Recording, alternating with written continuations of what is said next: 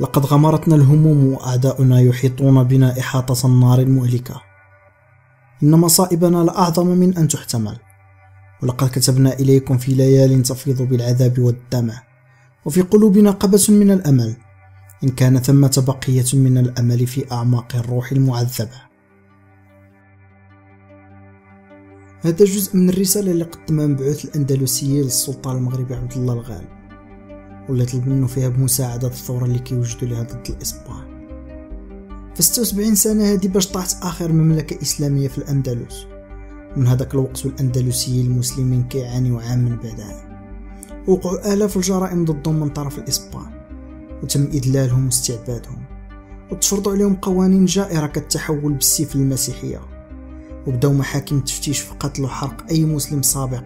شكوا في أنه كيكذب في شأن اعتناق لدينهم.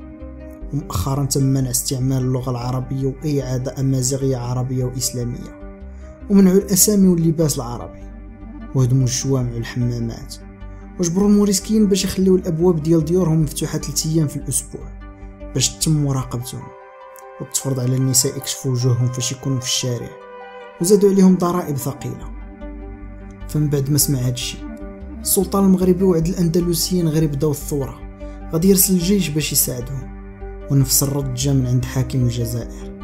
أما المواطنين المغاربة والجزائريين غير سمعوا بأمر الثورة قرروا التطوع وجمعوا السلاح ومشاو مع المبعوثين يدعموا الثوار. الردود غادي تشجع منظمين الثورة يبداو العمل ويجمعوا الناس. ومع انتشار أخبار التمرد القادة الإسبان ما سوقوش بزاف حيت ملي استعمروا مملكة غرناطة في 1492 داروا الأندلسيين ثورات صغار. لكن بسرعة قدروا يسحقوها. 27 سبتمبر 1568 تم عقد اجتماع في حي البيازين بغرناطة. حضر له 26 ممثل على المناطق الأندلسية المختلفة. فقرروا انتخاب سلطان للأندلس باش يجتمع عليه الناس ويوحد الكلمة ديالهم. وكان عندهم الاختيار بين ابن فراج واحد من مؤسسي المقاومة من عائلة معروفة اسمها بنو سراج. وكان خدام سباق قبل بدء الثورة.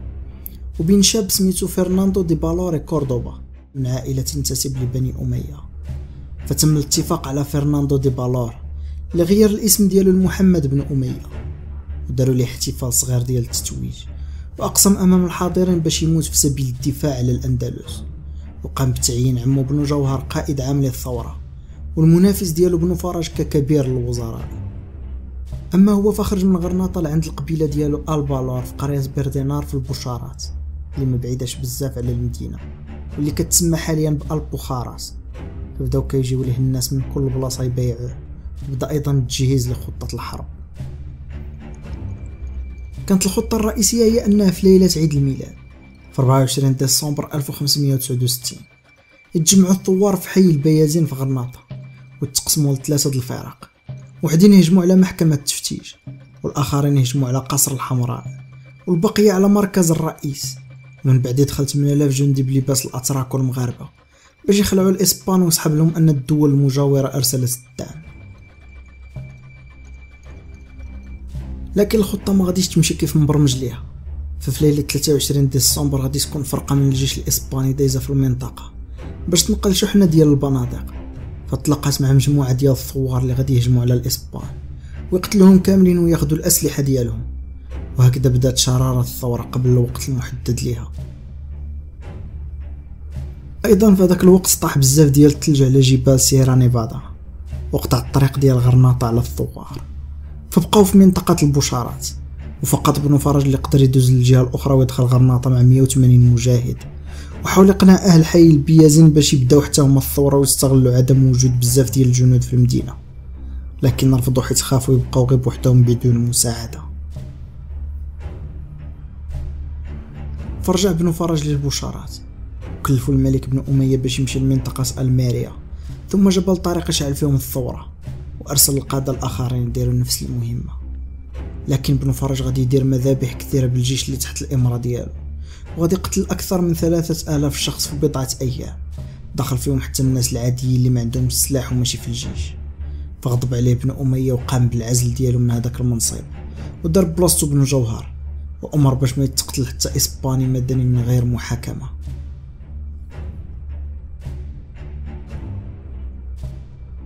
وما جات تدخل سنة 1569 حتى سيطر الأندلسيون على جميع جبال البشارات والواد ديال الإقليم. وطردوا الحاميات الإسبانية وقضوا على الإرساليات المسيحية كاملة. وداروا هزيمة كبيرة للقوات الإسبانية القشتالية في واد الجرين الإسبان تفاجئوا بهاد الانتصارات. وهادشي أدى إلى فوضى بين صفوف القادة ديال الجيش. ومن شدة التنافس بين حاكم غرناطة وحاكم ألميريا.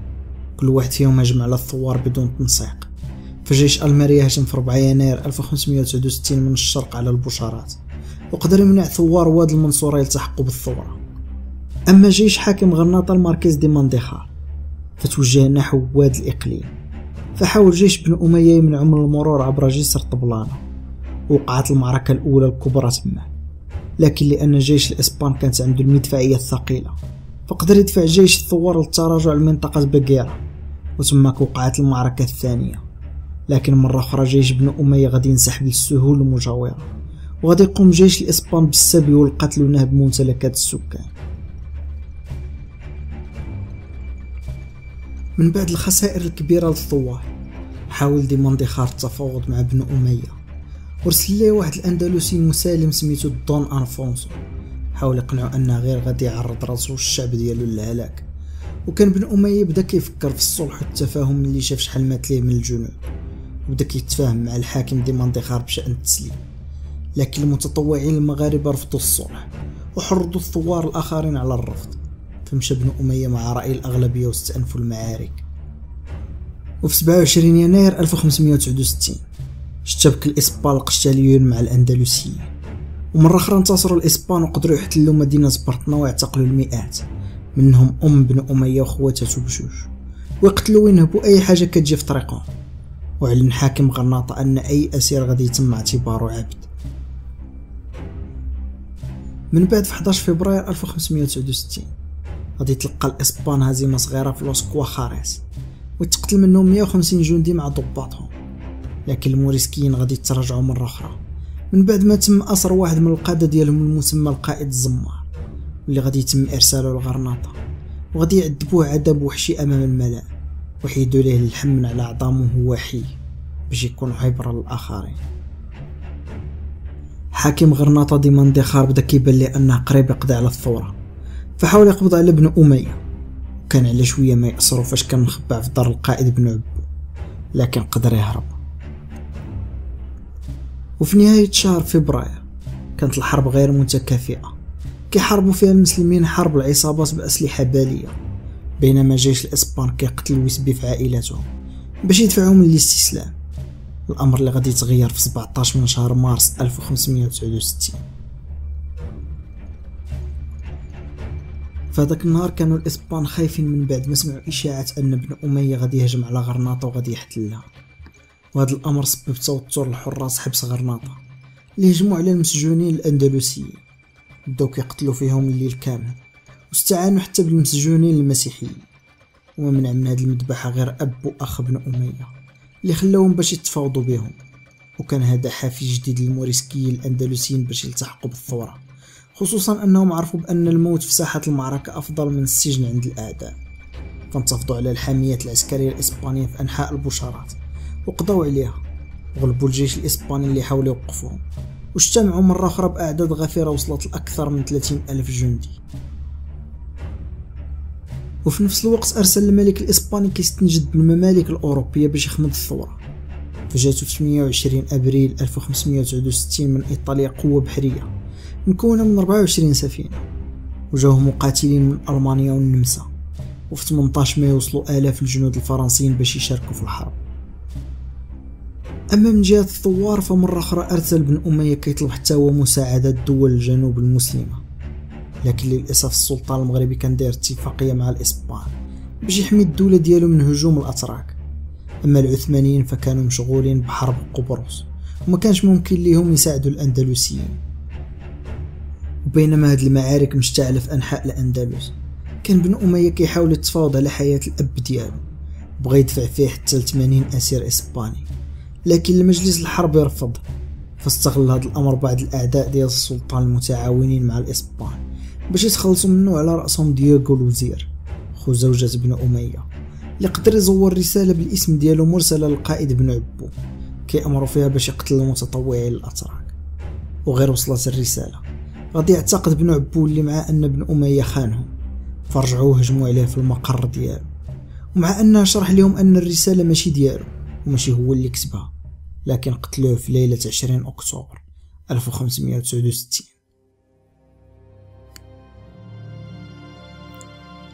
من بعد هذا الحادث تم مبايعة بن عبو اللي كان سميتو من قبل هو دييغو لوبيز وتسمى بالملك مولاي عبد الله وغير شد الحكم عاود تنظيم المجاهدين وجاب أسلحة من المغرب والجزائر. وفي أكتوبر 1569 قاد هجوم على مدينة أرخيفة بالقرب من غرناطة وسيطر عليها من بعد حصار قصير. فتزادوا عدد المحاربين ملي شافوا هذا النصر. أما الملك الإسباني ما تحملش هاد الخسائر فقام بعزل الحاكم غرناطة الماركيز دي مونديخار وتعويضه بخوه دون خوان النمساوي اللي عنده خبرة عسكرية كبيرة من بعد حروب كثيرة ضد العثمانيين. فجمع جيش كبير وهجم به في فبراير سنة 1570 على غاليرا اللي كانت أكبر حصون الموريسكيين فدافعوا عليها باستماتة. لكن خسروا أمام مدفعية الإسبان اللي تعاملوا بوحشية كبيرة مع السكان وقتلوا منهم عدد كبير. الإسبان غادي يطلبوا للمرة الأخيرة من الثوار الاستسلام مقابل العفو لكن بن عبو اللي معاه ما تقوش فيهم فقرروا الحرب حتى النهاية. أما في غرناطة وبالضبط في 28 أكتوبر سنة 1570 أصدر الملك فيليب الثاني أمر بطرد جميع الموريسكيين من المدينة. لمناطق أخرى في وسط إسبانيا. ومصادرة أملاكهم العقارية. لكن بزاف ديال السكان ماتوا في الطريق بسبب الظروف القاسية. وفاش سمعوا الثوار بهذا الأمر هبطوا من الجبال في كانوا مخبئين وداروا عمليات كتيرة قتلوا فيها بزاف ديال الأسبان. وبقاو في هذا النوع من الحروب العصابات والاختباء في الجبال حتى لمارس سنة 1571 فين قام الإسبان بأسر زوجة وبنت واحد من مساعدي بن عبو سميتو الشنيش ووعدوه يردوهم ليه ويعفيو عليه إذا هو سلم ليهم بن عبو حي أو ميت. وبالفعل المساعد غادي ينفذ الأمر. وهجم على السلطان الأندلسيين في المخبأ ديالو الجبلي. فعيا بن عبو ما يقاوم لكن في الأخير تشرح وطاح من الفوق على الصخور ومات فخداو الإسبال الجثة ديالو ودخلوها لغرناطة في احتفال ضخم. وبداو كيدوروها في المدينة كعلامة على النصر. ومن موراها بزاف ديال الموريسكيين اللي استسلموا بعد الموت ديال الزعيم ديالهم. وفي النهاية حرقوا الجثة وقطعوا رؤوس الأندلسيين. وبهذا انتهت آخر ثورة اللي كانت على شوية ما ترجع الأندلس للموريسكيين ضد أقوى جيش في أوروبا ديك الساعة. وبدون أي مساعدة خارجية رسمية من الدول المسلمة القريبة. وفي 9 أبريل 1609 أصدر الملك الإسباني فيليب الثالث مرسوم. كيقضي بالطرد النهائي للأندلسيين من أرضهم في اتجاه المغرب والجزائر.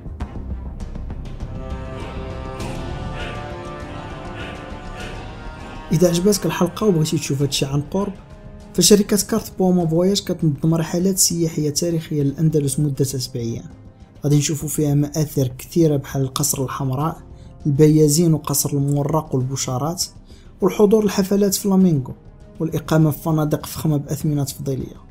للتسجيل ضغط على الرابط الداير في الشاشة. وباقي المعلومات غادي تلقاهم في ال description ديال الفيديو.